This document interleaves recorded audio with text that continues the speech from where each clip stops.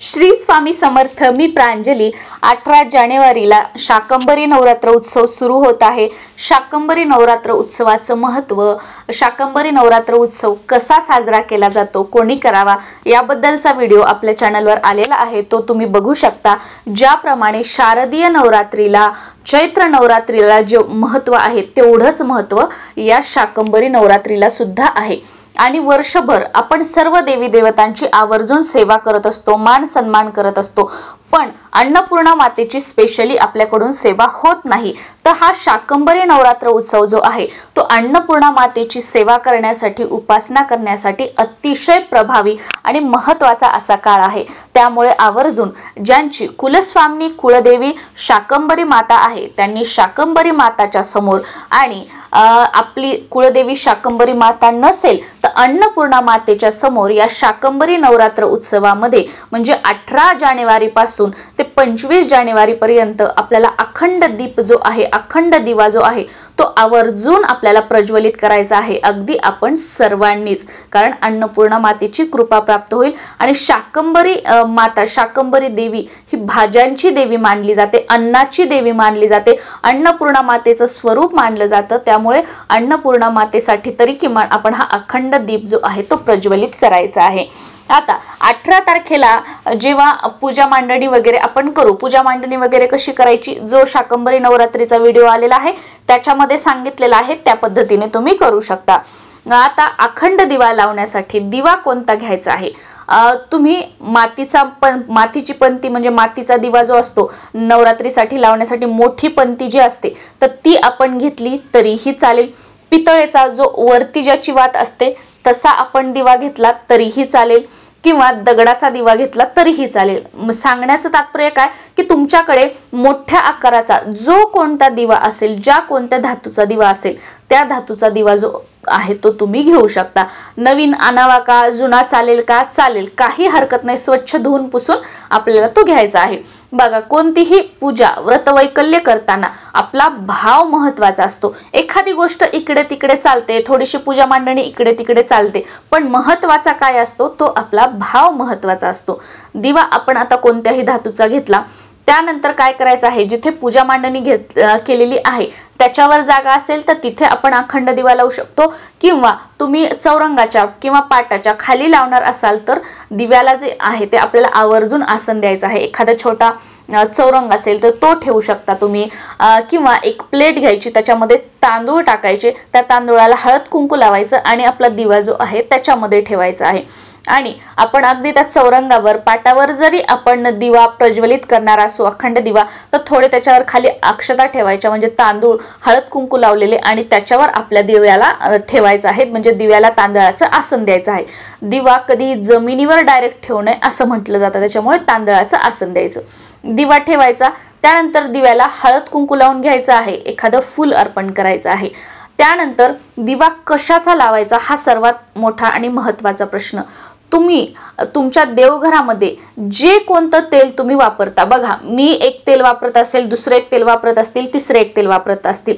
आता मी जर तुम्हाला म्हटलं की नाही नाही तुम्ही तिळाचंच तेल वापरा पण ते तुम्हाला काही कारणाने अवेलेबल होत नसेल किंवा तुम्हाला ते आणणं शक्य नसेल किंवा तुम्ही ते काही कारणाने तिळाचं तेल लावू शकत नसाल तर मग ताईंनी तर हे सांगितलेलं आहे आणि मग मी तर दुसरं लावते. मग काहीतरी वाईट होणार का किंवा काहीतरी चुकीचं होणार का? याच्यापेक्षा तुमच्या घरामध्ये तुम्ही देवासाठी जे कोणतं तेल वापरता त्या तेलाचा अखंड दिवा लावायचा आहे. कारण शेवटी काय? आपला भाव महत्त्वाचा आहे. की ती अंतकरणापासून आपण सेवा करतोय आणि ती सेवा करण्यासाठी जी आपली धडपड आहे ती महत्वाची आहे. तुम्ही किती किलो फुलं अर्पण करताय तुम्ही कसे तयार झालेले आहात कसे सजलेले आहात किती तुम्ही पूजा मांडणी किती नैवेद्य फुलं फल फळं फुलं अर्पण केले आहे याही पेक्षा तुमचा भाव महत्त्वाचा आहे.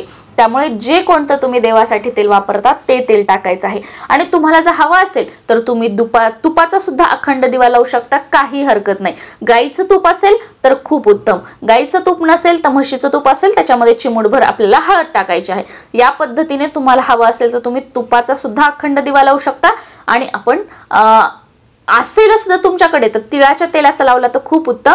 नाही तर तुम्ही जे तेल वापरतात त्या तेलाचा अखंड दिवा लावायचा आहे. आता वात कोणती घ्यायची? तर बघा आपल्याला जी कापसाची वात आहे तीच घ्यायची आहे. आणि तुमच्याकडे जर पद्धत असेल कलाव्याची वात वगैरे घेण्याची तर आपल्या घराण्याची जी पद्धत आहे त्या पद्धतीने तुम्ही करू शकता. पण जनरली मी जे आहे सगळ्याच नवरात्रीला आपली कापसाची जी वात आहे तीच लावते. तर तो तुम्ही कापसाची वात कसं आपल्याला इझिली अवेलेबल होऊन जाते आपल्या घरात कापूस असतो तर ती बनवून आपण लावू शकतो. आता हा जो दिवा आहे अखंड दिवा आहे तो कुठे ठेवायचा? आणि तो जर विजला तर काय करायचा? किंवा तो विजू नये म्हणून काय करायचा? सर्वात मोठा प्रश्न. तर आपला हा अखंड दिवा लावलेला विजू नये म्हणून काय करायचं?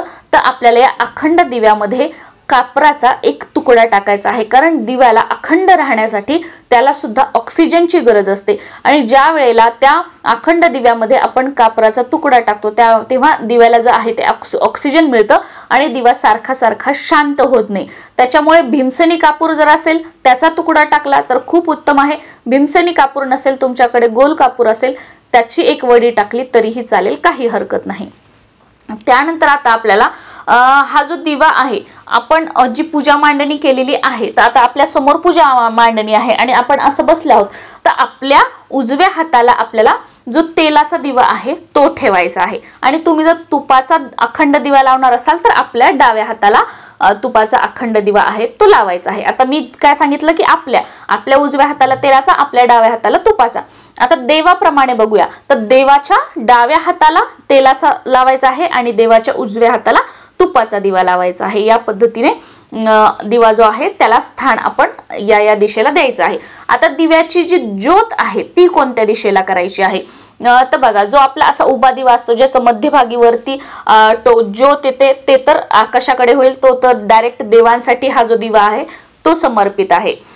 तसा दिवा नसेल आपण मातीचा लावत असू किंवा दगडाचा लावत असू तर अशा वेळेला दिव्याची ज्योत जी आहे ती आपण पूर्वेला करू शकतो पश्चिमेला करू शकतो उत्तरेला करू शकतो. दक्षिण दिशा सोडून जे आहे ते कोणत्याही दिशेला दिव्याची जी ज्योत आहे ती आपण करू शकतो. आता दिवा जर आपल्याला शांत झाला किंवा दिवा शांत होऊ नये म्हणून त्याची जी काजळी येते तर ती कशा पद्धतीने काढायची? आता दिव्याला दिव्याची जी ज्योत असते त्याला जर काजळी आलेली असेल तर आपण काय करायचं? दुसरी एक निरांजन घ्यायची. त्याच्यामध्ये दिवा वगैरे घ्यायचा आणि हा जो आपला अखंड दिवा आहे त्याने तो दिवा आपल्याला लावून घ्यायचा आहे. जो आपण निरांजणीमध्ये दिवा घेतला तो आपण लावून घेतला. त्यानंतर काय करायचं की जो आपला अखंड दिवा आहे त्याची काजळी जी आहे ती आपण प्लकर असेल किंवा कशाच्या तरी साह्याने आपण ती काजळी जी आहे ती काढून घ्यायची आहे. आता ही काजळी काढत असताना जर दिवा शांत झाला नाही तर खूप छान माता म्हणजे आपण म्हणू शकतो की आपल्या कुळस्वामिनीची देवीची आपल्यावर कृपा. पण चुकून माकून काजळी काढत असताना दिवा जर शांत झाला तरी काही हरकत नाही. कारण ऑलरेडी आपण ही काजळी काढण्याच्या अगोदर दुसरा दिवा जो आहे तो प्रज्वलित करून घेतलेला आहे. म्हणजे आपला अखंड दिवा आहे तो चालूच आहे.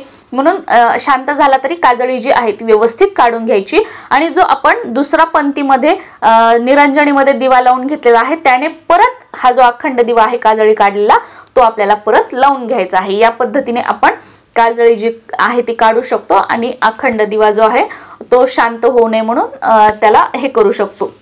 आणि त्यानंतर ते जे दुसरं निरांजन लावलेलं आहे तर त्यातलं ते शांत होईपर्यंत तसंच राहू द्यायचं. त्याला काही आपण म्हणजे शांत वगैरे काही करायचं नाही. तेही तसंच राहू द्यायचं.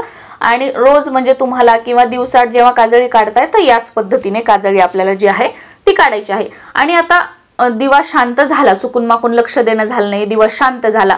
तर मग अशा वेळेला काय करायचं? काही घाबरून जायचं नाही. कोणतेही देव कोणतेही गुरु कधीच कोणाचं वाईट करत नाहीत. आपल्यासोबत जे काही वाईट होत असतं ते आपल्या कर्मानुसार होत असतं. त्यामुळे आपल्या कुळदेवीचं देवीचं नामस्मरण करायचं माफी मागायची आणि नवारणव मंत्र जो आहे तो माफी म्हणून कमीत कमी एकशे आठ वेळा आणि जास्तीत जास्त तुम्ही अकरा माळी एकवीस माळी एक्कावीस एक एकशे आठ माळी एक्कावन्न माळी तुमच्या मर्जीनुसार तुम्ही करू शकता. कुळदेवीचा मंत्र माहीत असेल तर तो आपण जप करू शकतो. पण कुळदेवीचा मंत्र माहीत नसेल तर नवारणव मंत्राचा जप आपण करू शकतो. आणि देवीला आपण प्रार्थना करू शकतो की चुकून माकून हे लक्ष नसताना दिवा शांत झालेला आहे. याच्यानंतर दिवा शांत होऊ देऊ नको. तुझी कृपा तुझा आशीर्वाद जो आहे तो अखंड माझ्यावर व माझ्या कुटुंबावर राहावा.